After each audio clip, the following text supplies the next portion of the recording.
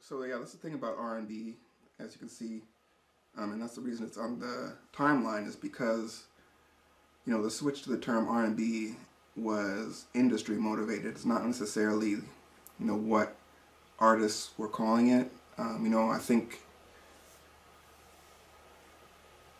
with uh, many of the terms, you know, they may or may not have been already used in by the artists and the communities who consume the music, um, but the primary switch was industry related. Um, for Billboard, it was you know more of a political thing um, as far as seeing the term race record or race music as being outdated.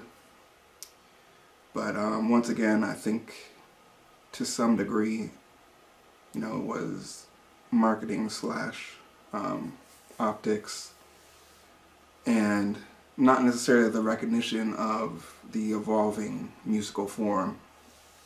So it's just something that's interesting to uh, take note of, and it'll be a reoccurring theme throughout R&B and rock and roll. It already has been, as we've discussed with some of our previous artists talking about jump blues, and you know, as we've kind of moved through the timeline, how some of those songs sound a lot like R&B, and some of them have rock and roll elements as well.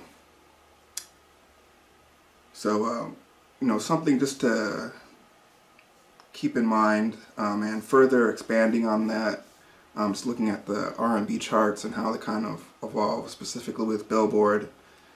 Um, I think it's a pretty good indicator because I think when you talk about genre, you know, all of the genres have not only like the musical structure, but there's also a cultural component and what, you know, who, how people view, at least especially from the industry perspective, how people view the people who are going they think are going to consume the records. Um, so that kind of all plays together. Um, but I think specifically in this case, when you look at the R&B charts as they've evolved um, on Billboard, um, kind of just shows you it, it just makes you think about genre, I think, because I think a lot of times, um, especially, you know, nowadays when there are so many genres um, and different categories, you know, you don't, people will say a genre as if they're defining, you know, a certain type of music. And, and historically, I think sometimes we don't think about how those genres, each genre was kind of delineated or separated and put into a category. And um, that's one of the primary reasons, well not, it is a, a reason why um, the timeline is structured in the way it is and why there's a specific emphasis on like the blues as being the foundation because as we move forward, you know, the blues was really a term you know, used by the community and by the musicians, and it was labeled by the industry as race music. So now, you know, you're not necessarily acknowledging the blues name at any point to a certain to a certain extent. Now you're kind of saying rhythm and blues, so it's in there.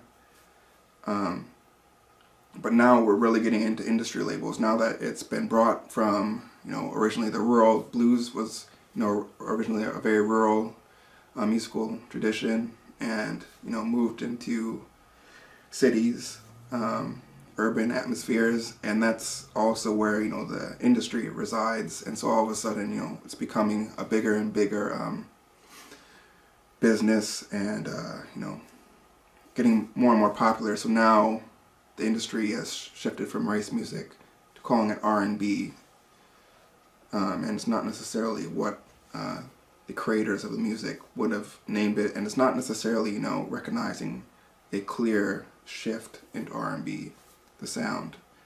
Um, that's why, you know, with rock and roll, you know, it's all created retrospectively as far as people, there's just, you know, they're like among the music aficionados or, you know, people who are really into it. When you talk about rock and roll, there's like a huge list of songs over history, over the history of like which is the a first rock and roll song because there's you know different elements um, of rock and roll. You know, people will say like back to the 1920s, even Um, I think once we get on our timeline, I think it's a lot, you know, in the 1950s, as far as what we consider rock and roll, I think it's pretty clear cut by then.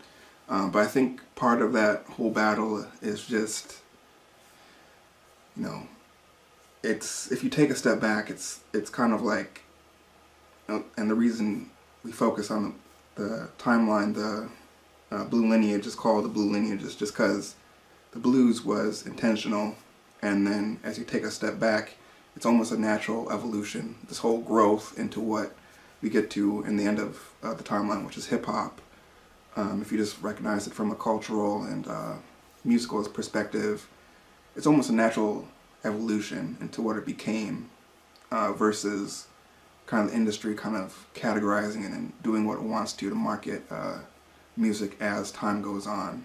And when you look at the R&B charts, it really, um, I think, highlights this. And uh, um, so early in with Billboard uh, in the 1930s, um, the what I what over time evolved into the R&B and hip hop charts. It started out as the Harlem Hit Parade. Uh, that was the first label um, that people will ascribe that you know continue to evolve into what we know as the R&B hip hop charts today, um, which was uh, which was specifically the Harlem Hit Parade was specifically referring to Harlem at the time, and just because um, in Harlem, uh, which was also where you know Tin Pan Tin Pan Alley was, which we talked about very early on, and so that whole area was just a place where. Uh, you know, music, the industry was thriving in general.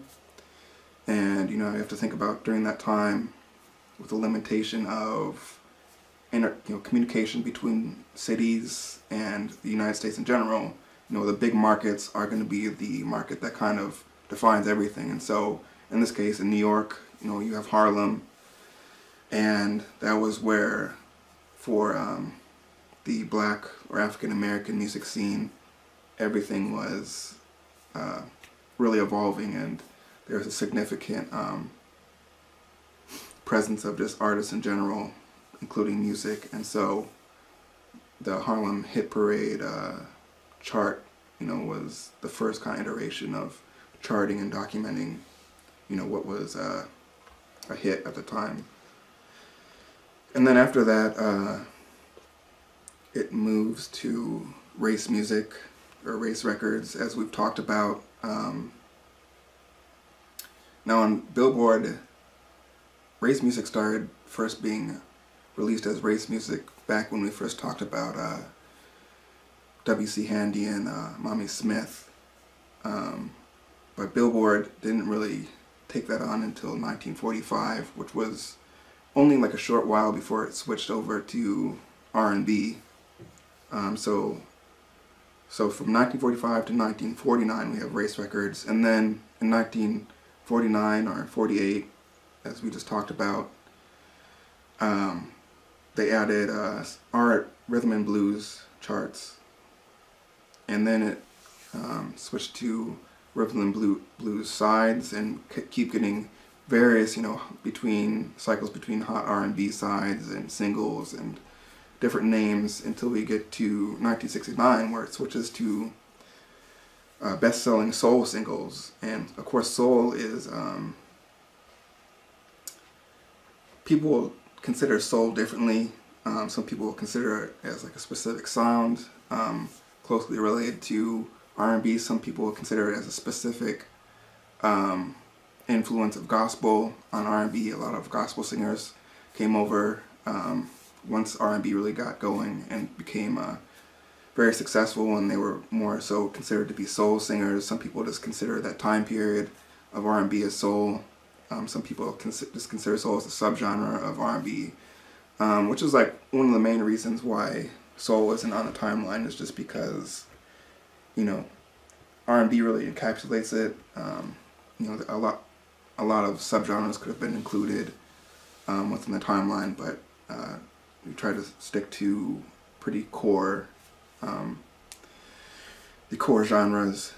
And so we have the best selling soul singles, we have hot soul singles, and then in 1982, it's the chart switched to hot black singles.